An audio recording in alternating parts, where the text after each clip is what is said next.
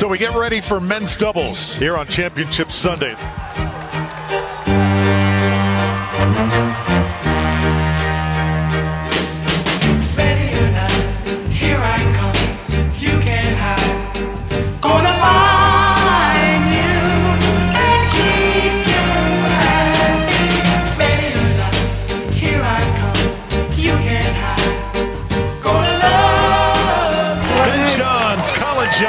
Waters and Johns completes the double triple.